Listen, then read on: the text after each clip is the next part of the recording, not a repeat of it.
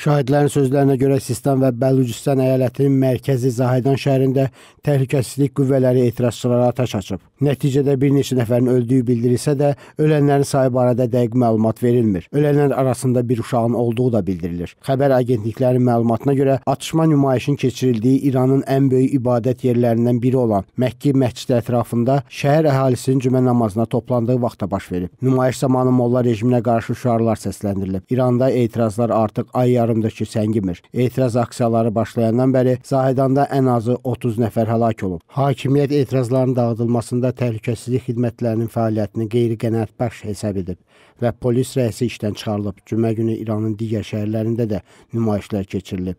Kürd etnik azlığın üstünlük təşkil etdiyi Mahabat şəhərində də böyük nümayiş olub.